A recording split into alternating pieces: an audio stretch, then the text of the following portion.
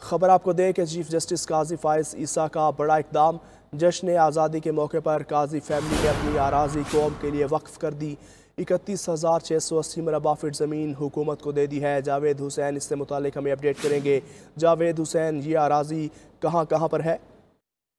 जी, बिल्कुल इस हवाले से जो chief justice of Pakistan Qazi Faez Isa और उनके भाई जो काजी अजमत ईसा हैं, उन्होंने एक मरासला चीफ सेक्रेटरी बलोचिस्तान के तवसत से हुकूमत बलोचिस्तान को लिखा है, जिसमें ये कहा गया है कि काजी अजम रेजिडेंसी से मुलिका उनकी जो मलकियत है, जिसमें वो इकतीस हज़ार छः सौ अस्सी मुरबा फीट ज़मीन बलोचिस्तान को अतिया कर दी है और इस हवाले से उन्होंने कहा है कि यहाँ पर जमीनी माहौलियाती सेंटर के बनाने के लिए इसको इस्तेमाल किया जाए और चौदह अगस्त के मौके पर ये आवाम पाकिस्तान के आवाम के लिए एक तोहफे के तौर पर उन्होंने ये अराजी जो है वो देने का फैसला किया और ये तहरीरी मरासला जो है वो लिख दिया गया है, जिसमें पाकिस्तान की सत्तरवीं सालगिरह के मौके पर उन्होंने कहा है कि अपनी ज्यारत वाली जायदाद हुकूमत बलोचिस्तान को देते हैं और काजी फायजीसा और उनके भाई ने अपनी मलकीती अराजी जो है वो हुकूमत पाकिस्तान को देने का ऐलान किया है।